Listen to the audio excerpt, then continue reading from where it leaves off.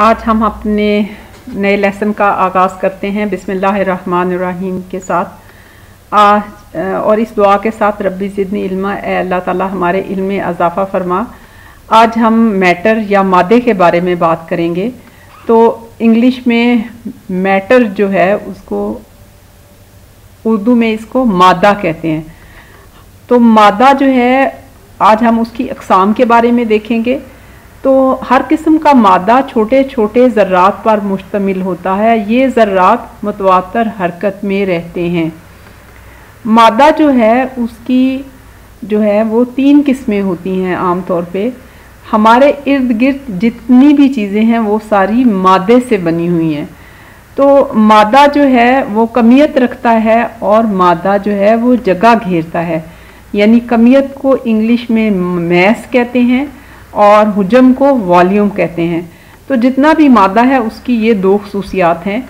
तो हमारे इर्द गिर्द जो चीज़ें हैं, अशिया हैं, वो किस चीज़ से बनी हुई हैं? हमारे इर्द गिर्द की अशिया मादे की बनी हुई हैं। तो अब देखें कि what is matter all matter is made up of molecule molecule जो हैं छोटे छोटे ज़र्रात होते हैं। और जो है, इसकी आम तौर पे तीन शक्लें हैं ठोस, माया और गैस। आप अगर एक छोटा सा एक्टिविटी करें, अपना हाथ अपने मुँह के करीब लाकर उसमें सांस लें और फिर उसको देखें कि आपको हाथ पे कुछ आबी लॉप जो है वो नज़र आएगा। अपने हाथ का मुशाहिदा करें। अब आप देखें कि अपने जिस्म के ऊपर नज़र डालें कि हम हमारे आँख, कान, बाजू हर चीज़ हमारी मादे की बनी हुई है।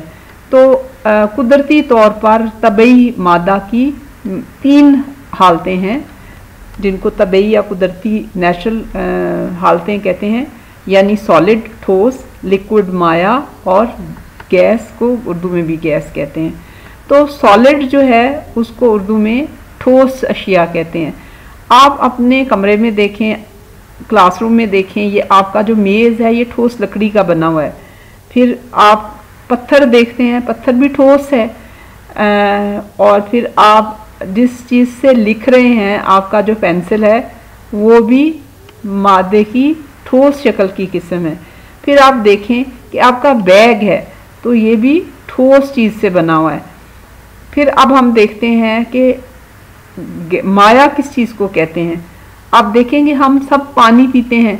तो पानी जो है, वो माया की एक किस्म है। फिर उसके अलावा देखें, हमें अल्लाह ताला ने दूध पीने के लिए दिया है, सफ़ेद रंग का होता है। तो दूध जो है, वो मायात की एक किस्म है। फिर इसके अलावा आप देखें कि खाना पकाने में तेल इस्तेमाल होता है।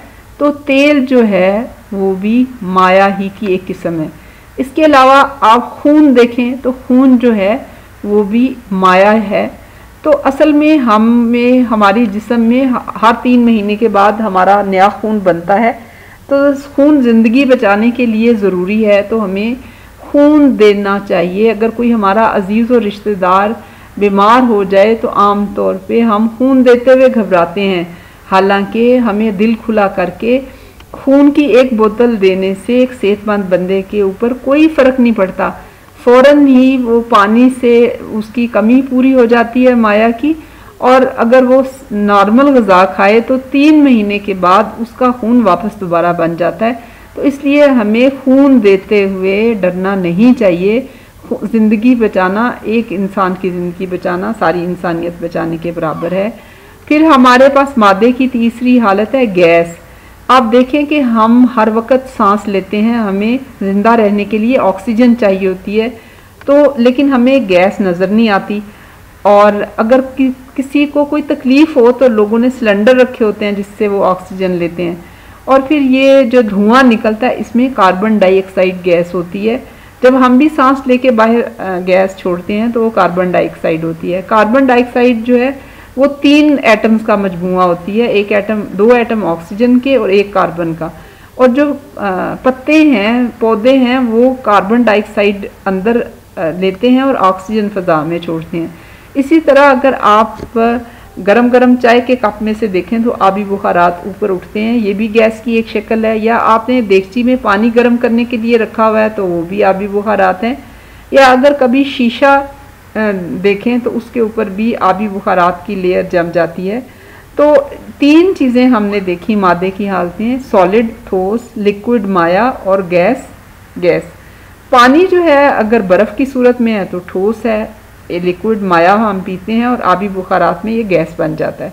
तो अगर हम इनके पार्टिकल का साइज़ देखें तो सॉलिड के जो पार्टिकल्स होते हैं, मालिक्यूल होते हैं, वो बहुत करीब होते हैं। लिक्विड के थोड़े दूर होते हैं और गैसों के बहुत ज़्यादा दूर दूर होते हैं। तो इसमें आप देखें कि जो सॉलिड ठोस चीज़ें होती हैं, वो सख्त होती हैं, उनकी एक ख़ास हजम होता है, उनकी शक्ल होती है और जो माया है उसको जिस चीज़ में डालें, वो वही शक्ल इख्तियार कर लेती है और गैस की कोई ख़ास शक्ल और हजम नहीं होता। अब आप देखें कि अल्लाह ताला ने हमें इंसानों को माया, ठोस और गैस, सारी चीज़ें हमारे अंदर मौजूद है। हमारी हड्डियाँ ठोस हैं, हमारे अंदर खून भी है, हमारे अंदर गैस भी है तो हमारे अंदर सारी चीज़ें मादे की तीनों हालतें पाई जाती हैं। अब हम देखते हैं बारी बारी कि ठोस की क्या खसूसियात हैं।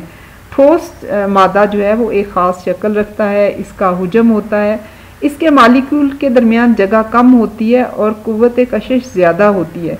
इनके मालिक्यूल हरकत तो करते हैं, लेकिन सुकड़ते नहीं हैं और इनमें नफूस की शरह भी कम होती है।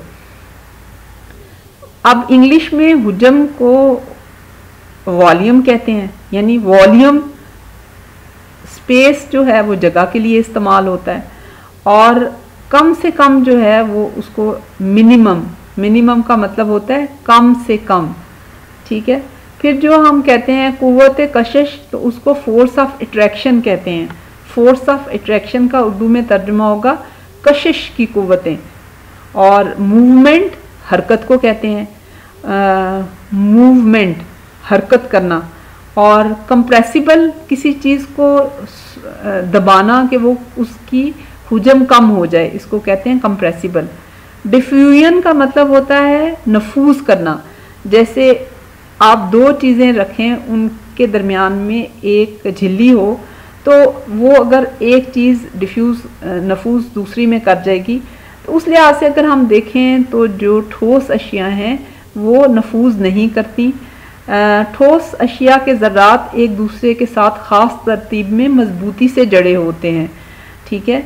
इनके ज़रात के दरमियान ताकतवर कशिशी क़वतें पाई जाती हैं। ये ज़रात जो हैं अपनी जगह पर रहते हुए थरथराते रहते हैं ये जगह नहीं छोड़ते। ठोस अशिया जो हैं उनको दबाया भी नहीं जा सकता। आप कितना ज़ोर लगा लें वो अपनी शक्ल को बरकरार रखती हैं और ठोस अशिया नफूज भी नहीं करती। तो आ, उसके आ, बाद हम देखते हैं मायात। तो मायात जो हैं उनके ज़रात एक दूसरे के करीब होते हैं लेकिन उनके बाकायदा तरतीब नहीं होती। करीब भी होते हैं, लेकिन बाकायदा तरतीब नहीं होती। और वो ज़्यादा कशिश की कुतें भी ठोस के मुकाबले में कमज़ोर होती हैं। और मायात जो हैं, उनको आसानी से दबाया नहीं जा सकता। लेकिन क्योंकि उनके ज़रात में कशिशी क़वतें कम होती हैं, इसलिए मायात बह जाते हैं। अगर आप कोई माया ज़मीन पर डालें तो वो बहना शुरू हो जाता है। तो मायात का हजम तो मखसूस होता है, लेकिन शक्ल मखसूस नहीं होती। इसलिए आप माया को जिस बर्तन में डालें, वो उसी की शक्ल इख्तियार कर लेती है। अगर ग्लास में डालें तो वो ग्लास का जग में डालें तो जग की शक्ल बन जाएगी। तो इसकी हम मिसालें देते हैं ऐसे कि अगर आप एक लकड़ी का ब्लॉक जो है, उसको ज़मीन पे गिराएँ तो वो वैसा ही रहता है। उसकी शक्ल में कोई तब्दीली वाक़ नहीं होती, लेकिन अगर आप दूध जो है उसको एक बर्तन से दूसरे बर्तन में डाल सकते हैं। आप दूध पीते हैं देगची से लेके, अगर दूध का गिलास नीचे गिर जाए तो वो फ़ौरन फैल जाता है। फिर उसके बाद हम मक्खन देखते हैं कि मक्खन जो है, वो सॉलिड है, ठंडे टेम्परेचर पे, उसको हम छुरी से स्प्रेड कर सकते हैं। लेकिन अगर उससे गर्म किया जाए तो वो आसानी से माया में तब्दील हो जाता है। इसकी एक और दूसरी मिसाल है कि जेली है जैसे उसको आप पानी में मिक्स करें तो वो आ, माया है और जब उसको ठंडे टेम्परेचर पे किसी सांचे में डालें तो वो आ, जो है ठोस शक्ल इख्तियार कर लेती है। फिर हम गैस की तरफ़ आते हैं कि गैस जो है उन एक मिनट में कहाँ से कहाँ ट्रैवल कर जाती है। आपने धुआँ देखा होगा और हमें आ, सांस लेने के लिए जो है वो ऑक्सीजन चाहिए होती है और ऑक्सीजन जो एटमॉस्फेरिक जो हमारा कुर्रा हवाई है वो बहुत सी गैसों का मजमू है। लेकिन गैस की ना कोई शक्ल है ना कोई नज़र आती है।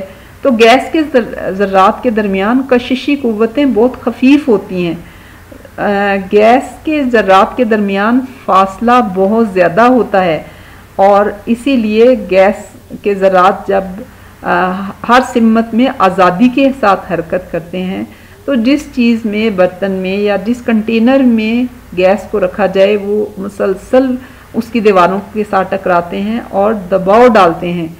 और गैस की ना तो कोई मखसूस शक्ल होती है और ना ही मखसूस हुजम होता है। तो इस तरह हम अगर प्रॉपर्टीज़ देखें, मैस, कमियत, शेप, शक्ल, वॉल्यूम, हजम, कंप्रेसिबिलिटी, दबाया जाना और पार्टिकल्स या मॉलिक्यूल की अरेंजमेंट और मोशन द पार्टिकल्स तो इस तरह हम चार्ट बना के ठोस माया और गैस में तफरीक कर सकते हैं जो हमने आ, उनकी प्रॉपर्टीज़ देखी हैं उनको कॉलम में लिख लें और उनको फिर याद कर लें। तो ये वीडियो जो है आपकी खिदमत में पाकिस्तान होम स्कूल की तरफ़ पे से पेश की गई है। इन वीडियो को ज़्यादा से ज़्यादा शेयर करें।